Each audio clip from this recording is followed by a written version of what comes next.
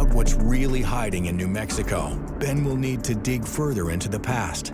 He's been granted special access to the top secret archives of Dr. J. Allen Hynek, lead investigator for the Air Force's Project Blue Book program. It was Blue Book's mission to explain away strange UFO phenomenon, but Dr. Hynek soon realized some of these strange sightings could not be debunked. I'm in Kalamazoo, Michigan, going to the CUFOS Library. I want to get to the bottom of whether the Archuleta Mesa is housing an underground base. Hey, Ben. Hey, Mark. And UFO historian Mark O'Connell has agreed to help. So everyone knows that New Mexico is uh, a hotspot for UFO activity, right? I've been researching rumors of a jointly operated human and alien underground base in Dulce, New Mexico. It's a facility where allegedly our government allows aliens to experiment on humans in return for their advanced technology. There have been reports of egg-shaped UFOs flying in and out of the mountain, and, and I've spoken to one witness who says she was nearly abducted. Historically, have there been any other sightings in that area? The big one would be the Socorro case. It involved a traffic cop who saw a strange object and watched it blast off into the sky. So we have a couple tapes here. The first one is an interview with the traffic cop, Lonnie Zamora, the man who saw the UFO. Let's have a listen to it.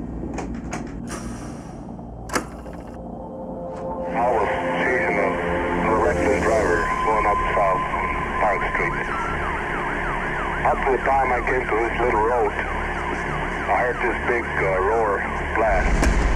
We got a dynamite check to the west there. I thought maybe blowed up. So I started up there real fast. But when Zamora arrived on the scene, he didn't find an exploded shack. Instead, he saw something he couldn't fathom. I stuck my head out the window and I seen this white egg object. I didn't know what it was at that time. I thought it was a vehicle that turned over.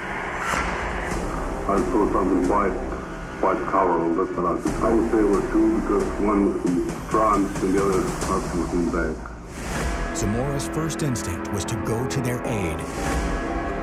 I started up real fast so I could uh, maybe help the people in the car.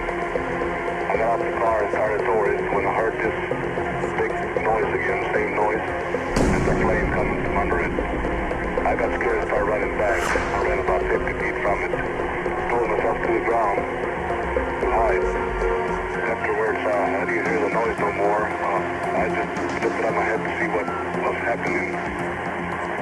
And it was real quiet then, and I saw this white object just uh, take. You know what I love about this story? He's giving details that are very pertinent, that don't fit that typical UFO sighting.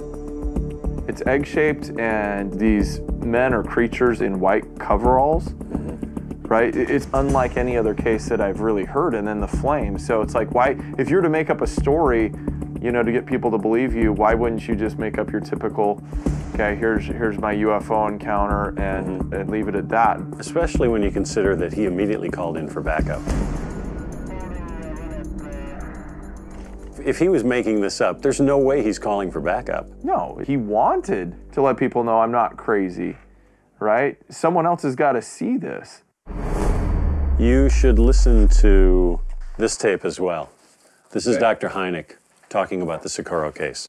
I certainly believe that Lonnie Zamora had a, a most interesting and significant experience, and I'm particularly interested in the tracks that were left and in the analysis of the samples of material from those tracks. And until you know more about it, all I can say about it is simply that I, I'm as puzzled as you are. So it has the Dr. Hynek stamp of approval, right? Very much so. he he doesn't come out very often and say I'm puzzled. I can't figure this one out. This was one of Hynek's favorite cases, if not his absolute favorite. And he really got into conflict with the Air Force in this one.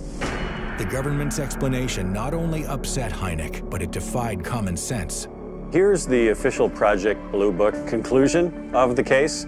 They say it was unexplained, but most likely a prototype NASA lunar lander. I don't know that I buy that. It doesn't make a whole lot of sense. So this is 1964, right? Yeah. I mean, I can't be certain, but I'm going to guess there's no confirmed documentation that we were testing the lunar module in Socorro, which is a small town in New Mexico. They would have no business doing it out there in, the desert. I've never bought that story for a couple of reasons. First of all, we all remember from the moon landings that when the lunar lander blasted off, it left its landing gears behind. This craft that Officer Zamora saw didn't leave anything behind. The second thing is, when the lunar lander took off, it could only travel in one direction, straight up. The object that Officer Zamora saw blasted straight up and then went horizontally across the landscape until it disappeared behind the mountains. So if it was ours, it had capabilities beyond what, what our lunar module had three years later, which doesn't make sense. Well, there's a reason why this case was Dr. Hynek's favorite. There was evidence here that something really significant had happened. Hynek didn't get to the bottom of it, but it's worth exploring. Well, if Hynek thought it was intriguing and something didn't smell right, that's enough for me. I want to go check it out for myself. Not only was Lonnie Zamora deemed by Hynek to be a highly credible witness, his encounter happened just south of the region where Dory Vigil snapped his photo of an egg-shaped object streaking across the sky. Is it possible that spacecraft based inside the Archuleta Mesa have been flying through New Mexico's skies for decades? Ben is heading back to New Mexico to find out. I'm in Socorro, New Mexico. Um, checking out this 1964 case. It was very unique. Socorro is a small, remote town in central New Mexico.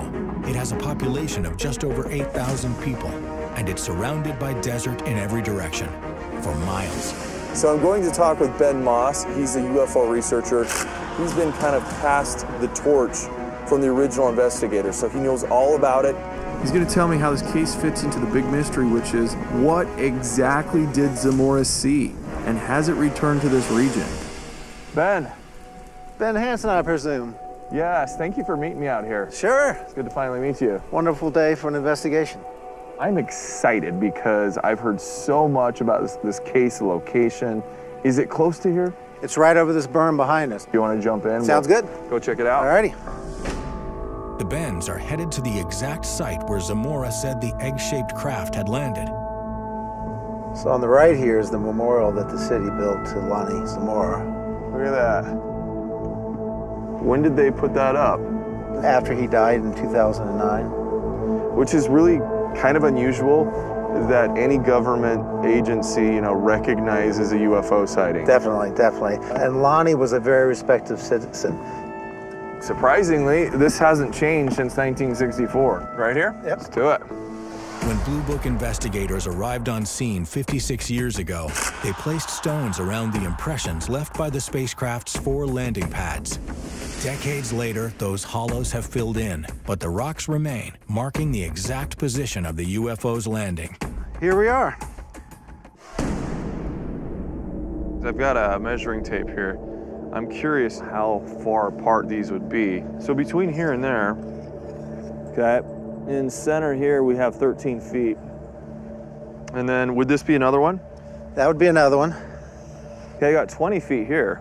Okay, so this is a substantial craft. Yes. Dr. Hynek took some measurements and estimated that the craft had to weigh about nine tons to make those depressions.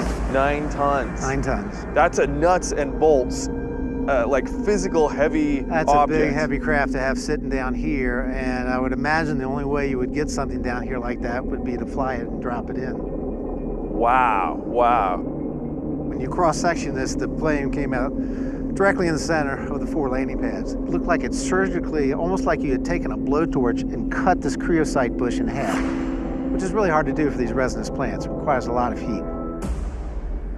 I have this original photograph taken by Blue Book at the scene. This is the creosote bush that was burned in half. You can see quite clearly it's almost sliced precision.